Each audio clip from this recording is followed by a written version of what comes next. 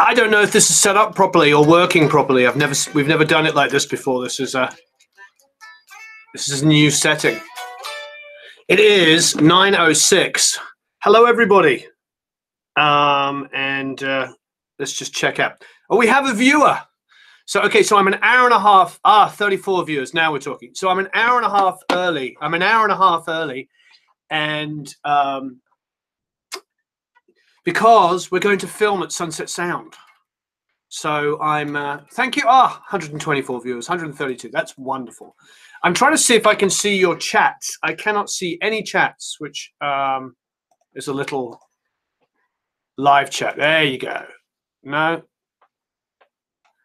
no, negatory. See, this is this is where it was supposed to come from. This was this is wrong. See, it's Hmm. it's not up there, so everybody that had the email sent to them is not going to see this. That's why I was saying. Okay. All right. So I'm really sorry. Um, okay, everybody. Hope you're all doing marvelously well. Um, it is 9:08, and today we're going over to Sunset Sound and um, we're going to Sunset Sound, and um, we um, are going to be filming with Darrell Thorp. Does everybody know Darrell Thorp? He's rather wonderful. I'm trying to see where I can find your chat because uh, we went into the wrong window here. So all a little disorganized. Uh, we'd had it organized one way and it got last minute changed. Yeah. Sorry, everybody. Um, I can see one person saying, looking forward to this, but I cannot see the chat. Are you there, Matt? Diamante?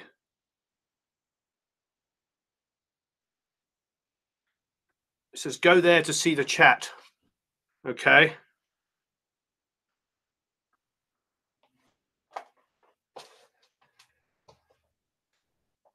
Okay, I can see it on my cell phone. Sorry about this. All got a little uh, all got a little. Uh... I see your chat now, Zach. Finally, it's uh, it, it- it's all gone a little pear shaped here, but uh, we're good. So, um, so we're going to Sunset Sound Studio One, and uh, we're working with Darrell Thorp, and we're going to do a video, and we're going to record a band and we're going to do it with a combination of one mic and several mics. So how phenomenally wonderful is that? Darrell's amazing. Um, so it's going to be a lot of fun. So yeah, I, I I love how Matt, that's genius. In the chat, he said, "Go here to see the chat." that's a great one, isn't it? Um, anyway, I hope everybody's doing marvelously well. Let's let's start off by first of all doing a giveaway. Let's do a giveaway because you can get away. You can give away. The, you can get the course that we talked about yesterday. So, um, what do I want to ask for that? First of all, I'm going to go and do a. Um, I'm going to go and do this video at Sunset Sound with uh, Darrell Thorp, and we're going to do it with one mic. So my question would be, hmm, if you only had one mic, if you only had one mic, this is a chance to win the Bob Horn and my course, the mixing course. If you only had one mic, what mic would it be? If you only had one mic, what's your desert island mic? If you could only have one mic, what would it be? Uh, uh, uh, uh, uh, I'm looking at all the chat here on my cell phone. Cheers from Washington. Hello in Costa Rica. I am going to use the echo chamber. I know, Alexei, it would be really, really good. I don't know Chimbinha. I don't. But hello in Brazil. Yeah, if you only had one mic, what would it be?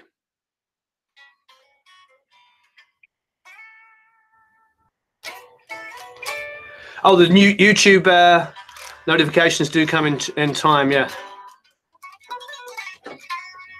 Um, du- du- du. hello there in Missouri. Ton of comments. Yes, please. We're all placed. Uh, yeah. Hey, Tom.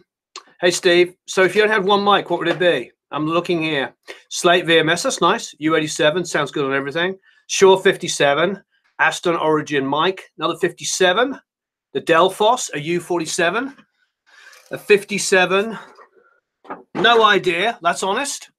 That's a good honest answer. I'm fine with that. LCT 440. That's one of the best all-round budget mics by far. A Coles 4038. That's an interesting choice. That would definitely give you a very specific sound. Um, so yeah, that's good. C414, a 57. Um, so David Killerby says a 421 or dy- oh, a dynamic 42. I actually don't know what a dynamic 42 is. A 57, a Chandler Red mic, 58s, 414s, 7Bs, 47s, LCT 440 again. Um, 414, 440, 57s. The only one I have. And what is the only one you have? What is the only mic you have? Another Lewitt 440. Those are very popular. Another 440. Very popular mic. Lewitt will be very happy about that. I think they did a great job with that. SM57, 414. You don't have an you don't have a mic yet, Anita? at least get yourself a 57 or get something that's kind of uh, affordable. You know, we were talking about EV, the ND257s, about those neodymium capsules, about how those were completely affordable microphones that you could get used. We were seeing them online for about 30 bucks. Um, so there's tons of options of stuff you can get. Um, we do. We're actually doing a deal on my mixing course, uh, which I believe is 50% off. So um, you know what, Matt, if he's watching, could put that in underneath. It's very difficult trying to read this chat on the on my cell phone. By the way, I'm not sure why the live chat is not showing.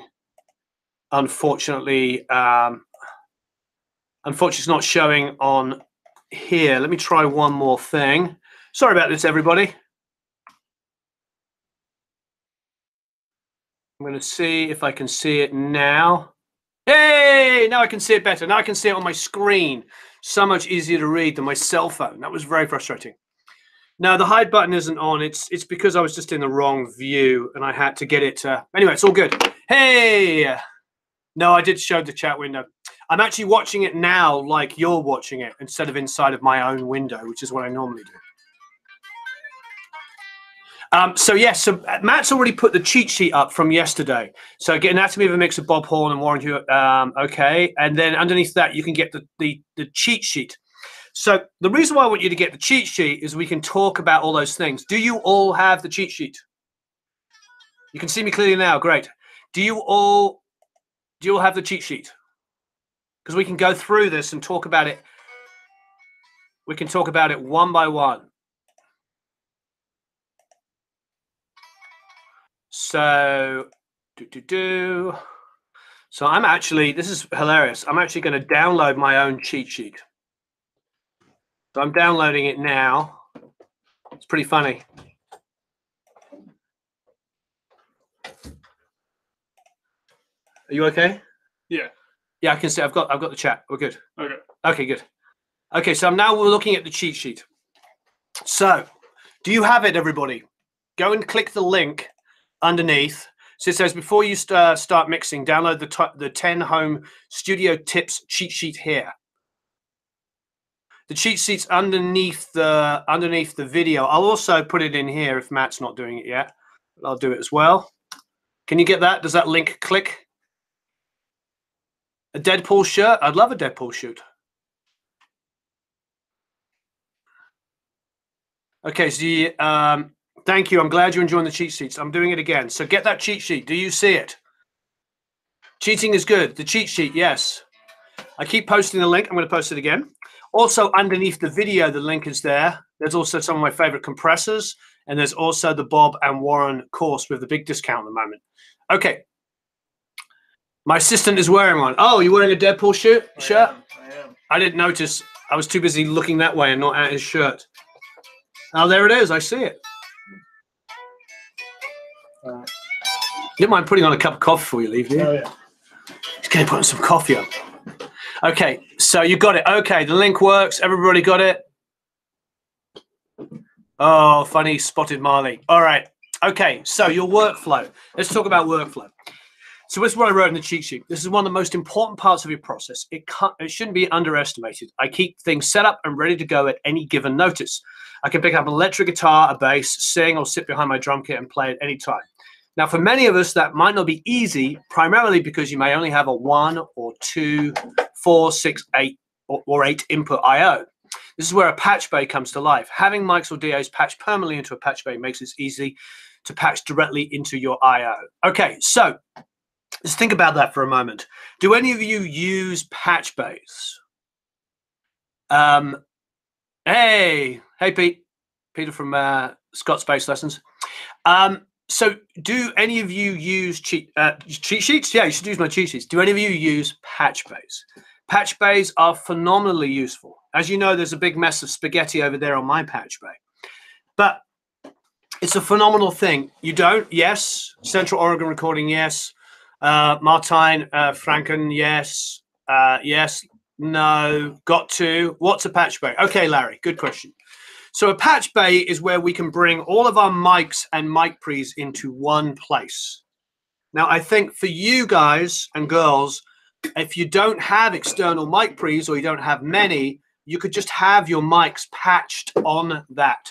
Now, it you don't basically it's just going to make your life a lot easier. Either it's either that, or if you don't have a patch bay, then you've got to have all your mic cables like collected together and all labeled really, really well, and then just plug in.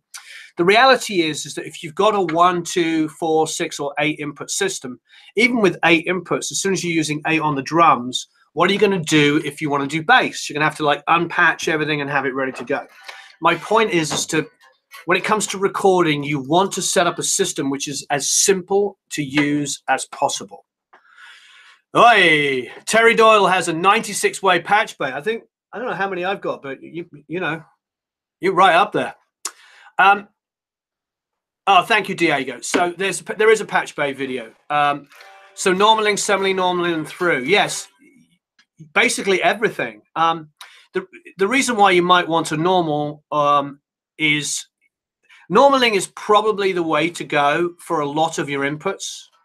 So all of your drum inputs could be on a normal patch bay because basically if you've got kick one, snare two, you know, uh, hi-hat three, overheads, you know, four, five, whatever it might be, you know, toms, you know, whatever you might be, you might want to just normal those to the inputs on your I.O. Um, you know, and I'm, I'm assuming that most of you are using, not all of you, but most of you using IOs that have mic pre's. So you're literally, this is just for the, this is just for mics. But ultimately, a patch is a patch bay. It's a way to access multiple mic pre's, multiple mics, compressors, whatever you might have, so that you can leave things permanently patched and then just switch them out when you need them rather than having to run into you know the other room and repatch all the mic cables all the time now obviously it means you're going to buy more mic cables and probably have you know a, a handful more mics but ultimately it's the way that you want to go the way i have my studio set up is i can pick up an electric guitar like this which i always have one in my hand obviously as you know plug it in to a cable down on the ground there go into a di and my amp and start recording so that's the first thing it's ease of use. And if you don't have a patch bay, it's okay, but make it easy that you can input things without having to like repatch from from scratch. Obviously, a lot of you that have like mini commercial studios, like proper little studios in your houses, probably already have patch bays. But whichever way you go, it's just about thinking about your workflow, making it easier for yourself. And sometimes that means buying a second DI. Sometimes that means buying a couple of more dynamic mics. Things that aren't necessarily expensive, but mean that you can leave things permanently set up. Because I believe if you've got one DI and you're repatching it every single time to be the keyboard DI, to be the bass DI, to be the guitar DI, to be whatever, it gets a little exhausting over a while. We have two or three, I think we have four DIs, and we have one on bass, we have one on guitar. The Acme's on bass at all times. As you know, it's an amazing DI. The guitar one is uh, the Rupert Neve you know, Rupert's RNDI. Uh, we also have the BAE one. You know, we have all these different DIs, but they're patched so that we you just plug in a guitar cable and off you go. Okay, so start thinking about that. Think about your workflow. What works for you? Draw diagrams, draw a drum kit, write down what mics you're going to use and where you're going to put them. Get sort of organized on how you're going to do it, how many cables you need. Maybe you have to buy a couple of extra mic cables, but get all and organized so that you can move quickly from one idea to another. It's not just good for you when you're on your own, but it's great for when you have a band in and you've got to patch things in. Um, I'm frustrated trying to figure out if I should use line in or instrument recording DI. Well, that's two. That's three different things. Um, a DI input would actually, if it's on a, if it's on a, um, if it's on an IO, it's the same as an instrument in. But if it's an actual XLR input, then you'll need a DI box to change it from a, an instrument signal to a, um, a mic input, which is what an XLR would be. But a, a, line input is totally different. It's a completely different level. That would be a line, a line from say maybe a keyboard, which has a lot of output, or anything else that's putting out a much, much higher level signal. An instrument and a line are two different things. Instrument and line, two different things. An XLR input, 99.999% of the time is going to be a mic input. I've seen things that are wired strangely, but basically you've got mic input, line input, and instrument input.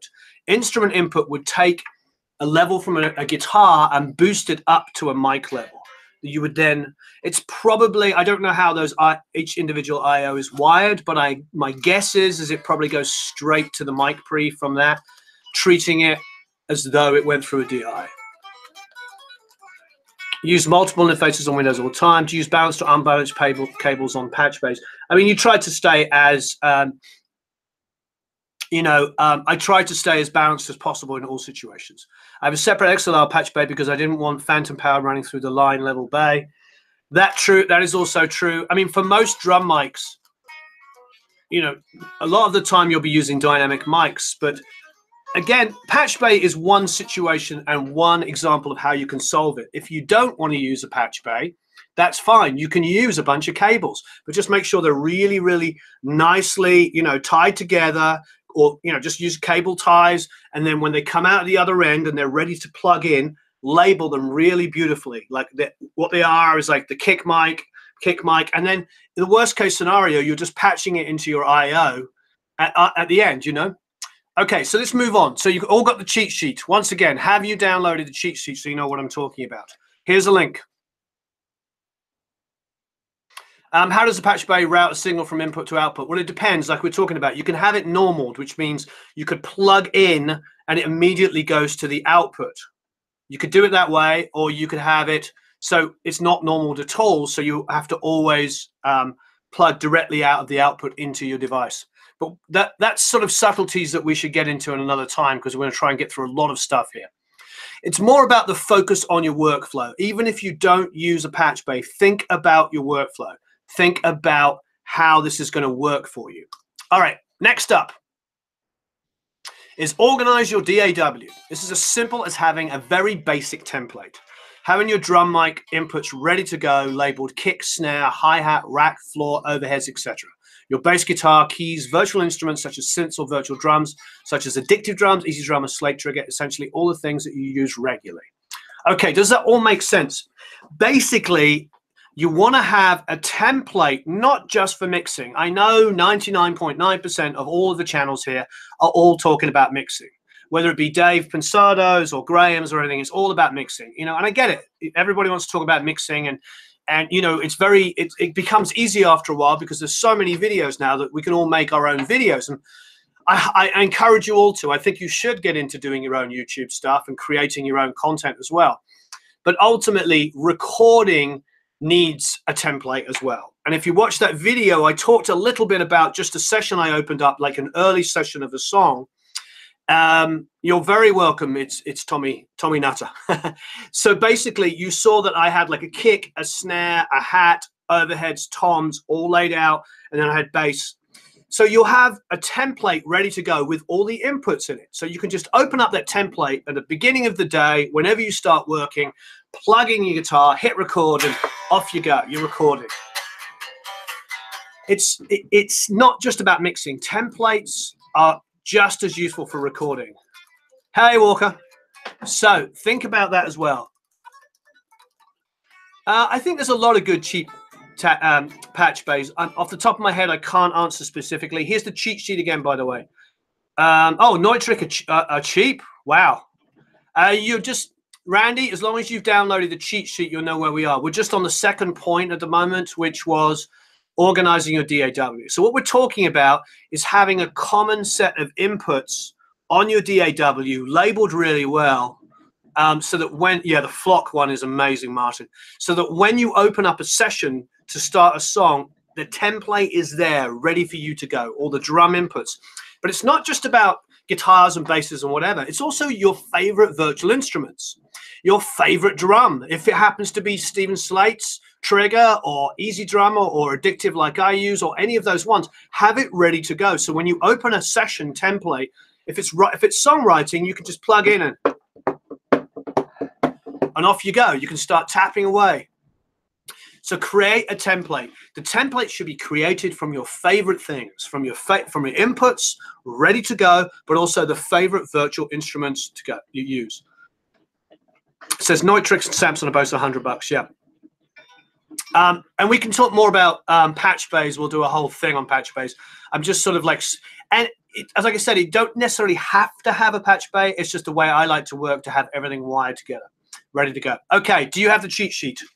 If you don't, download it so we know what we're talking about. Okay, so next up is don't focus too soon on sound design. As you can see from the Little Empire song, which is the song in yesterday's video, please check out the video. I added some sound design, some swooshes, and other noises and explosions. However, they came after I'd written a chorus and wanted to enhance it. Spending too much time on these early on would take a t- take away from time from the writing and production stage. Okay, so everybody loves sound design. Everybody does it. I mean it's um, 99% of the songs that i hear on the radio especially all the pop songs even like the latest 30 seconds to mars or any of the coldplay stuff these bands are getting really into massive edm um, stuff now. All of this stuff uses an enormous amount of sound design. Let's be honest. All the the explosions and the things whipping around like panning effects and you know lots of lots of edm and and ableton kind of pitch things all of which are phenomenal. I'm working with a rock band at the moment with bob marlette and we've been referencing bring me the horizon and they just do amazing great stuff randy um, I, i've been referencing and they just do so much sound design. It's amazing. However don't do it while you're in the creative process. Leave it to the end. Don't don't do it while you're in the creative process. Leave it to the end. And um, you know that's something that you should be doing. That's something you should be doing. You know when you know at the end of a song, not in the middle of it.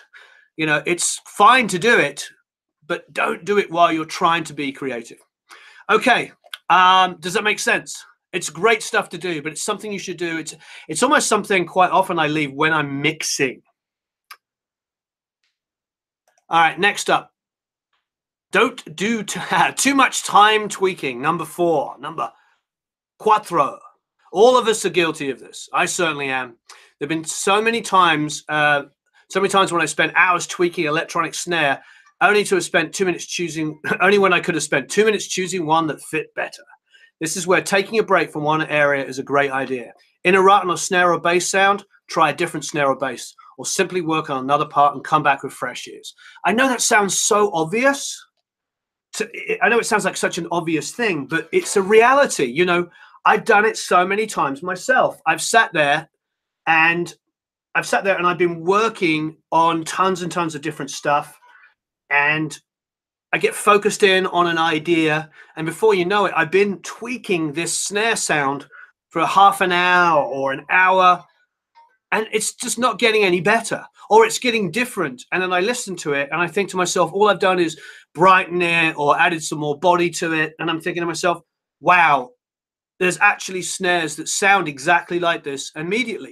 And I could have gone through my snare library and found the right one straight away and it's not always just about that. I mean, I'm talking about obviously samples, but it's not always just about that. It could also be, um, it could also be about um, the camera keeps refocusing. I'm, I'm sorry, there's not much I can do about it, but thanks for pointing it out. Um, so the uh, the um, uh, what was I going to say? uh, the um, the EQ like EQs are what I'm what I'm really really guilty of. You know, it, EQs is like when I spend a long long time like like getting in there and extracting all this kind of stuff. I mean, I know that there's this sort of idea that every single frequency that's boosted a little high should be removed. You know, it's like isn't it interesting when you watch like some of the some of the most famous mixers and they're doing all these broad like boosts of high end and everybody's like oh my god all they're doing is boosting the high end or doing this.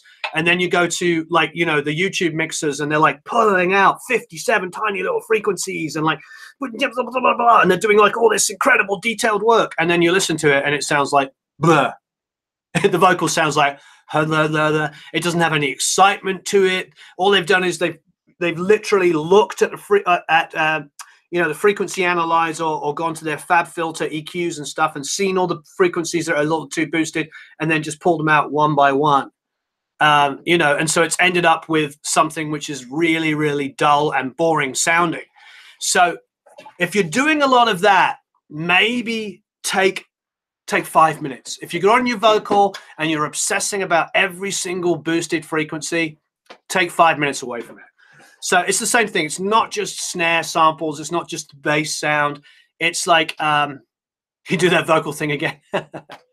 it's like I was doing this.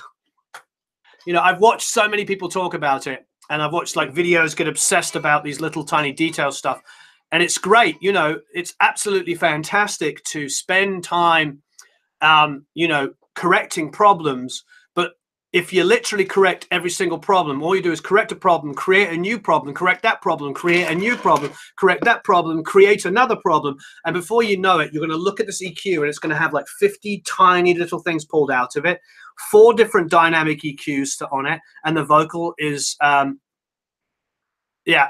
And there's uh, the whistle frequency is always a new one because I've never heard of that until YouTube.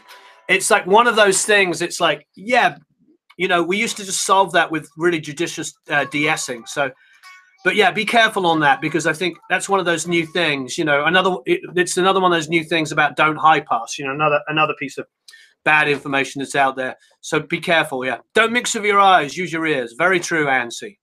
All right. Hey, Ansi, where have you been? We haven't seen you for a while. Have you been busy? Um, okay. Let us get to the next one. Oh, you know what? Let's do one more giveaway.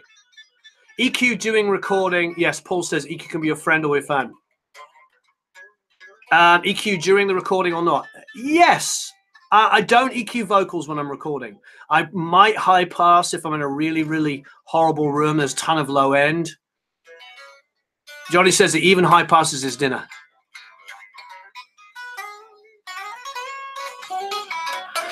So let's do another giveaway. Okay, we've done we've done favorite mic. If you only had one mic, what would it be? What else can we do? Hmm.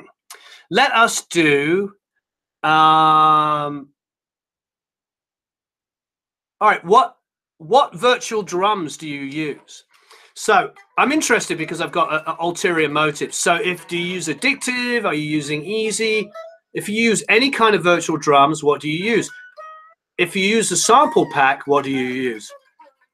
I want to know what you're using. Ah, easy too. Our favorite YouTube channel. Hi from the Netherlands. Easy Drummer, Addictive Superior, Addictive 2, Easy Drummer Slate, more Easy Drummer, Addictive. There's a lot of Easy Drummer here, a lot of Addictive. Random samples, nice. Do you all have my samples? Superior. So there's quite there's quite a good split here. I don't know Perfect Drummer.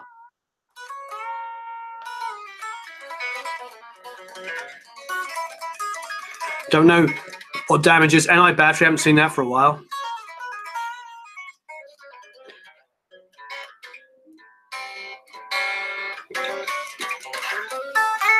PreSonus drum loop sampler, you have mine. Thank you.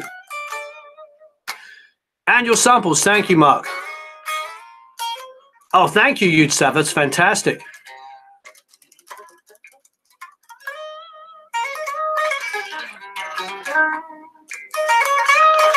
Drumagog. Easy drummer. Johnny L. Fantastic. All right, great stuff. All right, Tom C. All right, let's move on. Congratulations, Johnny L. All right, so monitoring in more than one way. Okay, so this is number five. If you haven't downloaded the cheat sheet, please download it. I'm putting the link in several times. The, the, the link is also underneath the video.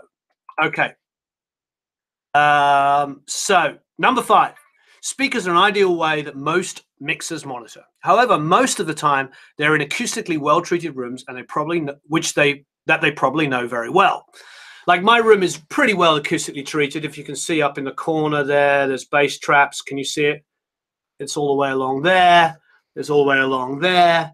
There's like stuff hidden in the ceiling. It's a pretty well treated room. You know, it's got padding all over the place. It's not the it's not the, the flattest room in the world. It's not George Massenburg, but it's pretty flat. And I've also had Genelec come in and measure out the room. You know, and we know that how it sounds in the room. And I'm also really used to it. I've been in this room now for about seven years, so I know it well. So that sort of takes me out of the running. It's like I know these rooms. Uh, I know this room. So most people at home don't have this option. It's very likely that you'll have acoustic issues in your room, room and then it, and that can affect the way you hear the mix, leading you to boost or cut certain frequencies incorrectly. So what quite often happens is you're in a room and we do this in the academy. Um, for those of you aren't academy members, please check it out because every month what we do is we put up a new multi-track in the academy, and um, the great thing about it is um, we we do a mix critique, and everybody listens to each other's mixes. It's really, really super supportive community. We don't have time for people that um, are not supportive. You know, there's lots of other places they can go and lots of other kind of academies and and uh, you know places where people knock each other. We, we don't do that there. It's all about helping each other so it's rather wonderful. And but some what quite hap- often happens is we identify these issues for people because a mix comes up because maybe there's 30 or 40 or 50 or 100 plus people mixing this song and each week we listen to the songs and people you know people are helping out and and it might be like wow there's a lot of low end in your mix or there's too much high end or there's too much this that and the other. And we ask about what speakers they're using and they'll tell us what speakers they're using. And then we might talk about well then maybe sometimes i'll say well maybe it's a problem with your room. If you don't have enough low end maybe there's too much in your room so you're not boosting it where you're needing it and you're overly cutting it. So these are very very typical problems. Um, headphones as you know uh, that you know well are an excellent way to check your mixes. And do not underestimate the car test. If you listen to music in your car frequently, you will know how it sounds, so triple check it there. Bottom end issues in particular are very evident with most car stereos. Okay, now I know there's been there's a, quite a few successful videos about car tests, and one of them by somebody I really really like, but I have to disagree entirely. Um, there is nothing wrong with using the car test if you drive your car and you listen to music all the time in your car, then you are going to know how it sounds. So it's a really, really good idea to do a car test on your mix. If it sounds like poop in your in your car when your other stuff that you listen to doesn't, then there is a problem with your mix. It's not just like I saw lots of different excuses why that might be. The fundamental reason, if something sounds bad when other things sound good, then there are issues that you have to correct, and that's okay. And the biggest one is always the low end. So I trust the car test personally. I always trust the car test, and I've worked with some of the biggest biggest mixers in the world that do that, that go to their cars. So don't. And as Steve, as Chris Norris is just saying here, my car is literally the only place I still listen to CDs. Yeah, do the walk test. It's, no, it makes a lot of sense, Alexi. And not everybody has cars that lives in major cities. We only have one car for our family. We have one car that my wife drives, and I use Uber. We don't need two cars. You know, hey Anita, we don't need two cars. That's just the way it is. You know, do you get a better sound from a VW or BM, BMW? Hey, it depends on the start, the the the the, uh, the the system. You know what I mean? Hey Lisa, how many mixes? How are the mixes going? I have the same headphones. Look forward to. It. I don't know what headphones they're using. So, and then if you have headphones that you know really, really well and you listen to your music, check your mixes on that. Check your mixes with earbuds.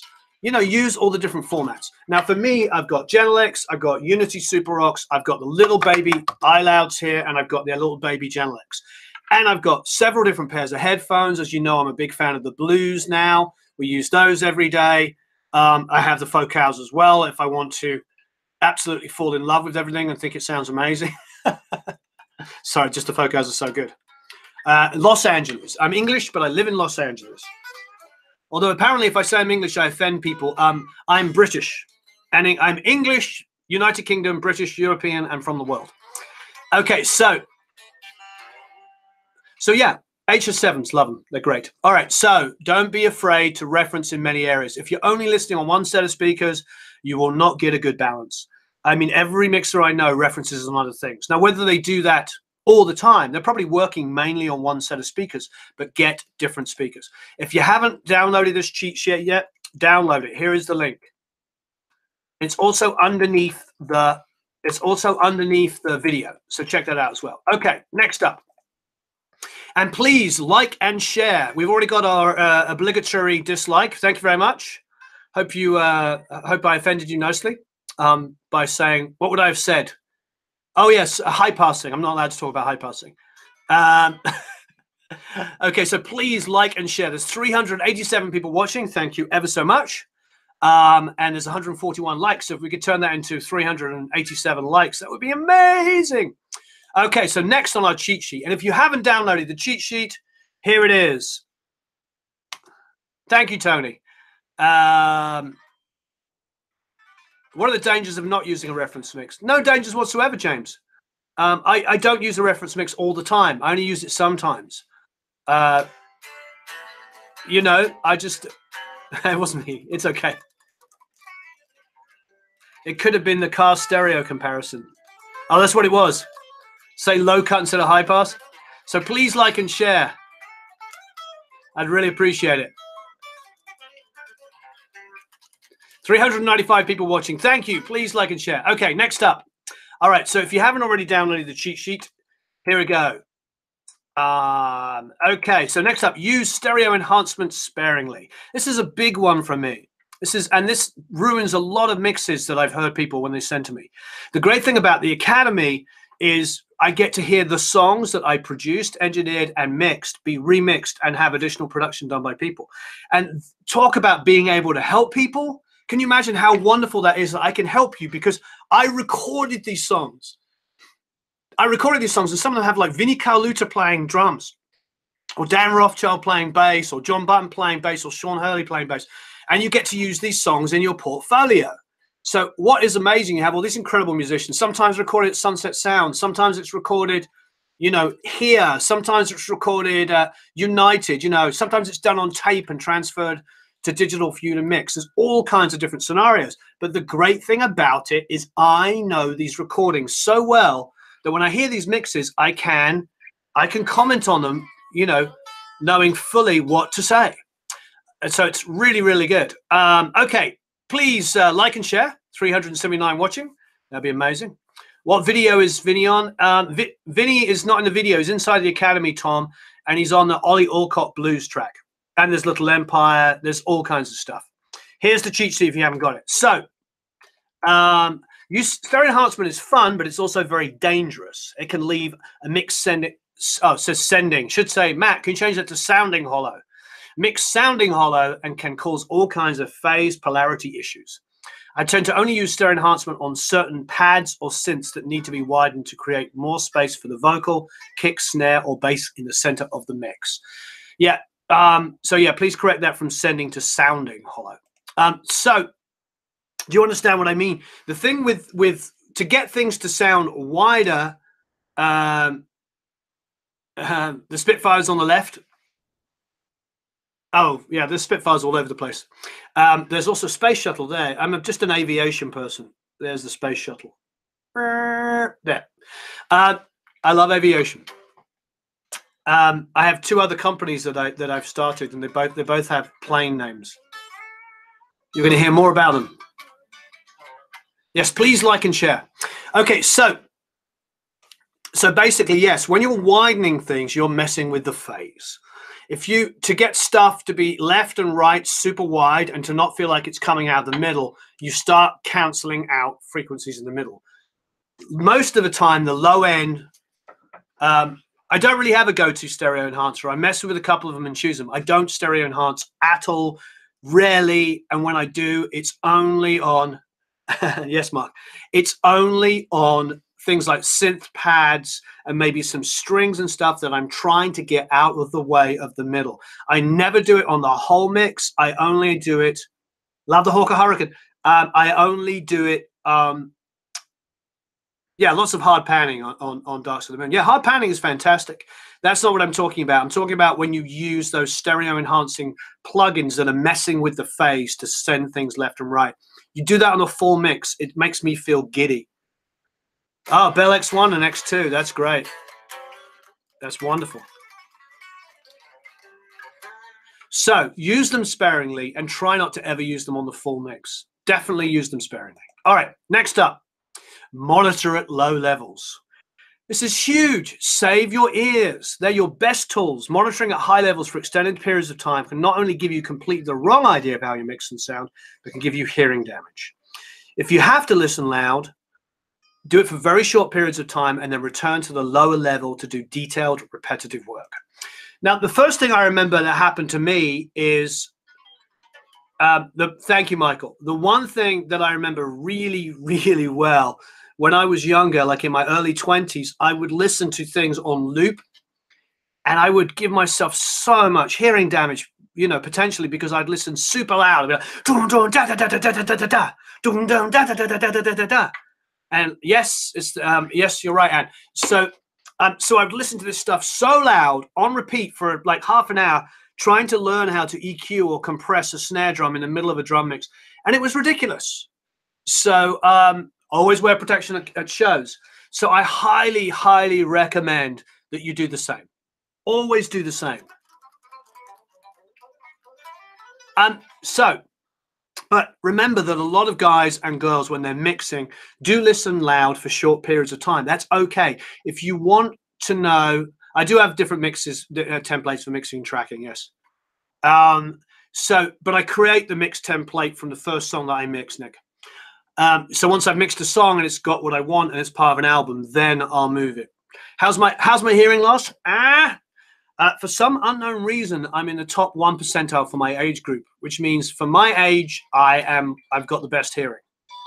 I think I protected my ears, but I think also my doctor, who's also a musician, said to me that a lot of people that do music for a living, especially producers and engineers and mixers, have the ability to hear frequencies better because they also understand how to focus.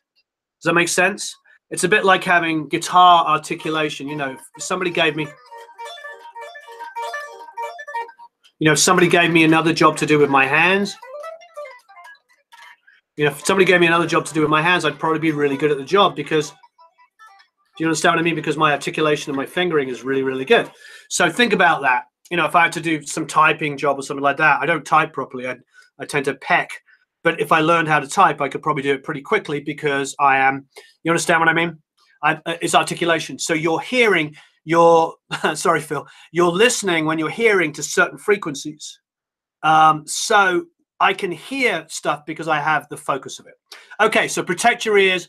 Listen at low. Thank you ever so much, Pieter. Um, okay, so one more time. If you haven't got the download the cheat sheet, here it is. And if you haven't liked and shared, please do it now. There's 401 of you watching. This is fantastic. Piano players will always be the best typers. Maybe.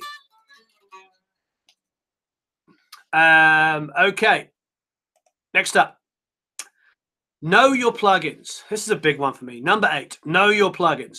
It's better to have a handful of plugins that you know than hundreds you've never tried. Of course, you can expand your plugin library as you progress, I mean, I have tons of plugins. I love all my plugins I've collected. However, know the ones you have well, especially the effects one or two, especially with effects. One or two reverb plugins will give you many choices. Many delays also have multiple emulations with just one plugin, and with the EQ and saturation, you can adjust them. So what I mean, like, just to clarify what I'm saying there, is like you can open up a delay these days, and they have, um, hey Zach, Ah, all right. No diet sovas. Want to thank you. Thank you, Zach, for buying me lunch. Woo! Ah, and you're loving the academy. Thank you very much, Zach. We love having you in the academy. Thank you. Ah, if anybody wants to buy any of the other team members lunch, that'd be great. You want to buy Darrell Thorp lunch? He's probably got more expensive taste than me. I think he's got more Grammys. I've got four Grammy nominations. I think he's got seven. He's got seven albums that he's won Grammys on. So I'll be seeing him in a little bit. So if you want to buy him lunch, how do you feel about cutting tracks of our click? Love doing that. Depends on the song. So yeah, if you want to buy Darrell lunch or one of my team members, please do. Thank you ever so very much, Zach. Uh, uh, what the Academy is uh, every single month. The Fray were nominated four times. Ah, Michael B. Is that for Andrew and Eric? Thank you, Michael. So the in the academy we have a new multi-track every single month. So you join either month if monthly you get the that month and the previous one. If you join yearly you get about 30. There's about 30 multi-tracks in there. Ah, thanks ever so much, John. You rock. Thank you ever so much. Um, you you are all absolutely incredible. Thank you, John. Thank you, Michael. Thank you, Zach. I really appreciate it. Uh, no, we didn't win, but we got four. We got four nominations. Um, yeah, we didn't win because we weren't very hip. We weren't a hip band, even though they were like the biggest selling band of that year uh, on both albums. They didn't win. You know, it's uh, it, it is what it is. You know, this it's a popularity contest. That's that's what uh, Grammys are. It's okay. I'm happy. I mean, uh, in the studio here, I have about four or five platinum or gold records. In the house, I have a, um, a couple in there. If you want to, uh, there's a little, if you go to the bottom of the chat, there's a little dollar sign you can actually send me money. That'd be fantastic. Okay, so how do I measure headphone levels? That's a really good question. Wow. That's a fantastic question. Basically, just start really, really, really low and just kind of work up to a point where it starts to make some sense. Um, it's not tea. This is a cup of coffee. I've already had a cup of PG tips this morning. Anyway, I want to get back to our 10 productions. And if you haven't got the cheat sheet, please download it. Here it is. If you haven't already liked and shared, please like and share. Yeah, exactly. It's not the end of the world we didn't win Grammys. It's nice to be nominated a bunch of times. Okay, so knowing your plugins. So basically, what I was saying about delay plugins and and reverb plugins is a lot of the time you can use the stock delays and the stock um, reverbs because some of the stuff you want to do would be like sidechain compression on reverb, sidechain compression on delays, EQing a reverb so it doesn't have too much low end, EQing a delay so it doesn't have too much low, low end, EQing a delay so it doesn't have too much high end. Hey, Randy, thank you ever so much. So all of these tricks are absolute. Thank you, Randy. You are a rock star. So all of these tricks are really, really useful because what they will do is lessen the need for you to have 10,000 different delays and reverb plugins. Now, don't get me wrong. It's nice to have these great emulations. I love them. I absolutely love them. Um, I do love my PG tips. Um, and oh yeah, the Valhallas are amazing. yes, it's buy Warren lunch day. I'll buy my team lunch as well. Yeah, uh, Michael B saying using a measure with the dB meter. Okay, let's do another giveaway. Ah, thank you ever so much, A99 Productions. You rock. Very kind of you. So um, let's do another giveaway. We've done favorite mic. Um, let's think. What else can we do? Hmm. I want to be complete. All right. I just want to do this because I'm a music fan. We're all here, as you can tell. I'm not just a producer engineer guy. You know what I mean? I I actually like playing music. Ah, thank you. Oh, Andrew and Eric just got bought lunch. Wow. That's amazing. Thank you. Andrew and Eric will be very happy. Excuse me a second.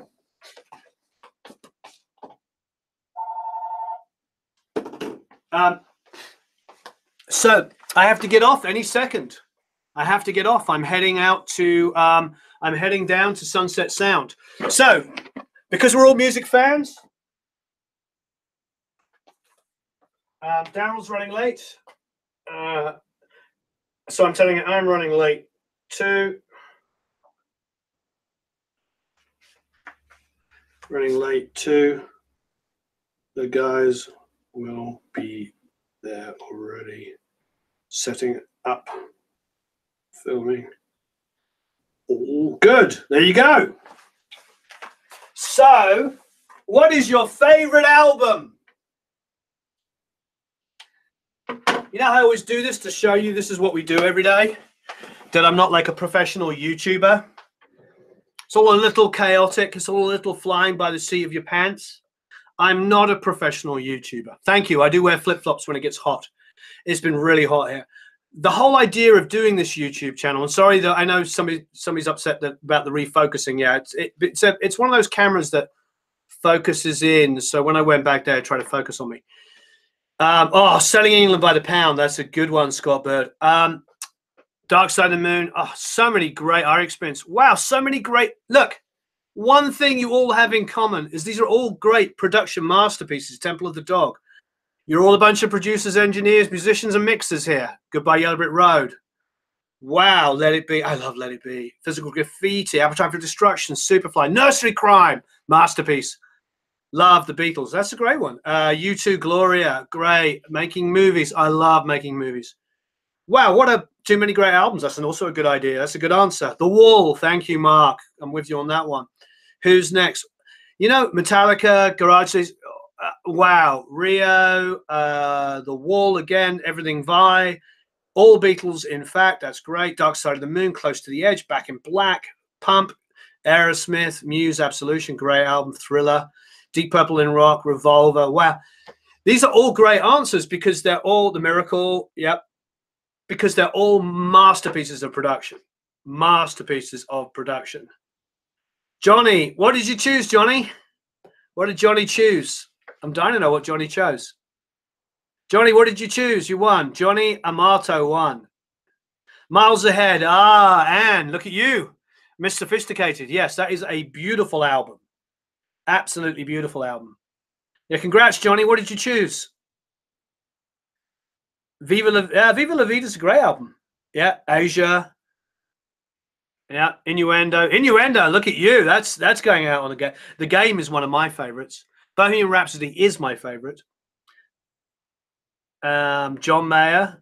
What did uh, what did Johnny choose? Johnny, you won. Are you still there? If you haven't already, please like and share. Um, anything by Bon Jovi. Thank you, Tommy. All right, we're moving on. Okay, number nine, high pass the super low frequency. That's number nine, high pass the super low frequency. If you haven't already downloaded the cheat sheet, here it is again. It's also underneath. It's also underneath the uh, video down there. So number nine. Okay, just because your small monitor, just because your small monitors in your home studio don't reproduce 20, 30, or even 40 hertz doesn't mean it's not there. You can't you can tighten a kick drum by removing 20 hertz and below, and will really open up and focus your low end. If you're unsure of what's going on in the low end, then use frequency analyzers, and you'll notice low end rumble that's taken energy taking away taken energy away from your mix and causing an enormous amount of mud.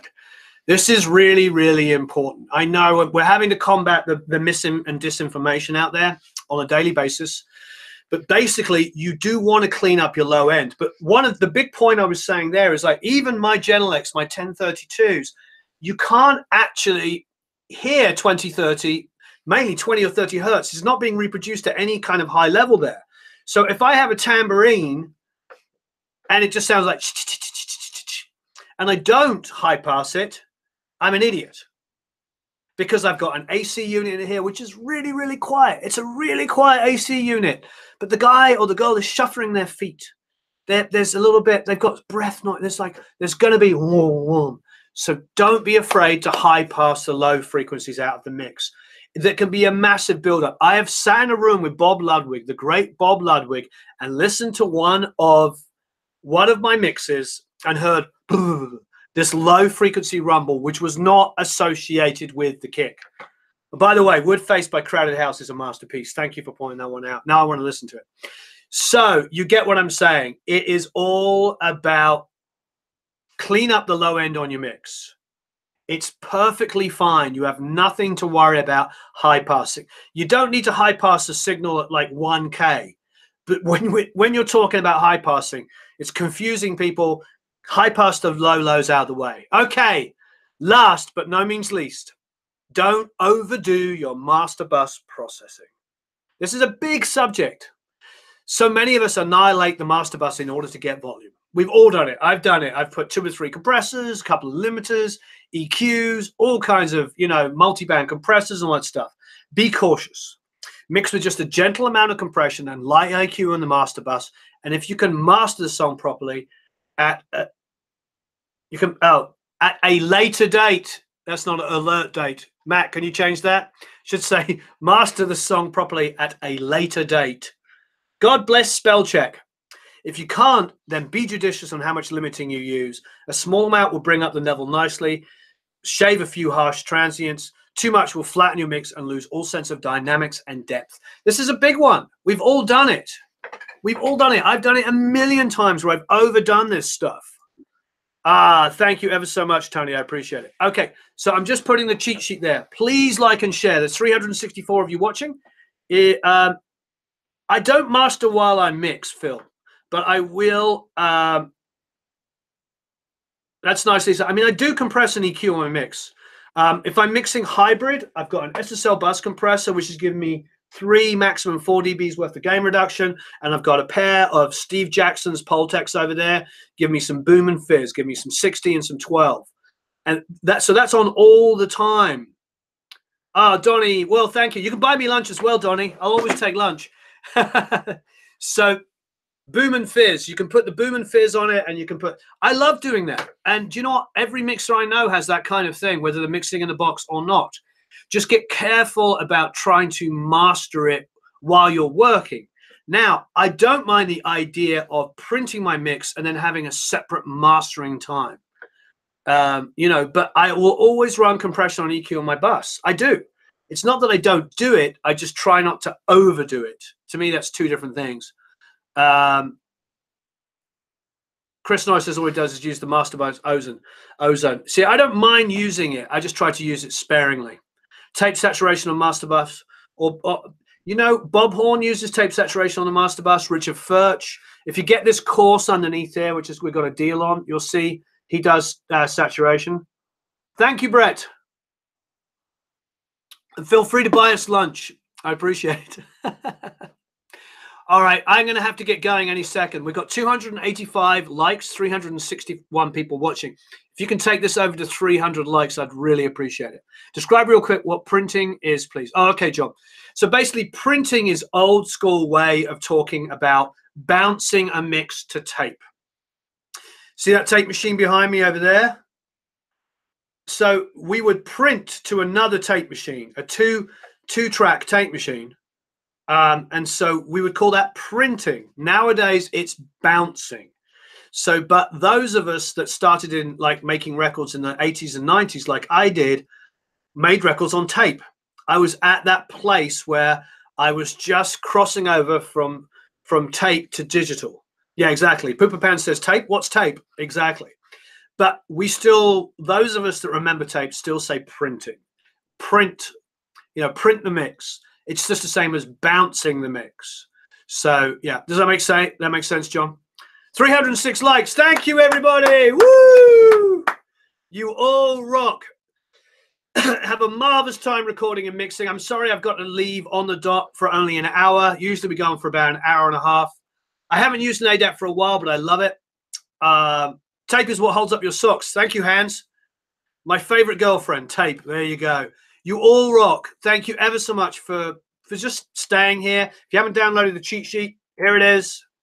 And also underneath is Bob and mine's course, mixing that little Empire song from Monday. Highly recommend you get it. Um, some of my favorite plugins that people always ask about the MV2, which is getting a huge amount of love from our followers here. People love it. Followers is the wrong word. Our community. There's nobody following me. You're all helping each other. This is an amazing community.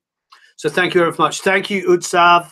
I hope I'm pronouncing your name right. Thanks, Darren. Thanks, Alexi. Thanks, Brett. Thanks, Adam. Thanks, Nathan. Thanks, Walker. Great. Thanks, Tony. Thanks, Paul. Thank you all. Thanks, everybody. Hadley, thank you. Um, if you haven't, please make sure you download the cheat sheet so you'll know everything we've been talking about.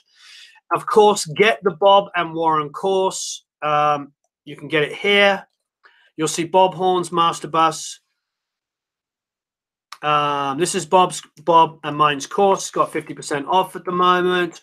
Also, my favorite plugins, like I said, the MV2 is amazing. The RBass is amazing. The Renaissance Vox Renaissance compressor. These are ones I use them all the time. Uh, thank you ever so much, Bill. I love it. That's really kind of you. If you want me to do a Skype call with them any day, uh, I can. We can do a Skype call. I love talking to students. You want to do that, Bill? Just email me. Email me at Warren at Produce Like a Pro, and we'll set that up. Um, oh, thank you ever so much, Nikita. I really appreciate. it. I'm very, very happy to do that. So I'll probably go through this cheat sheet stuff, cheat sheet stuff again. I'm going to enjoy sunset. So please um, stay tuned in for Thursday. Yeah, the MV2. If you don't already have that. Oh, by the way, here's here's here's the Bob and Warren course. I really want you to look at. It's fifty percent off. Get the cheat sheet. Buy the MV2. It's absolutely amazing. It's usually on a ridiculous deal. It's my favorite go-to plugin. Here it is. Oh, thank you, Alexi. I look forward to that, my friend. That'll be a lot of fun. Okay, all have a marvelous time recording and mixing. Um, I will try to figure out how I'm supposed to stop being live. Arr! I'm going to have fun at sunset. I will say hi. I will buy the guys some lunch and I'll tell them it's from you. Thank you ever so much for, watching. I really appreciate it. Have a marvelous time recording and mixing. And I'll see you all again soon. Don't forget to look at the Bob Warren course, Bob Warren Warren Huart course. Download the cheat sheet and have a marvelous time recording and mixing.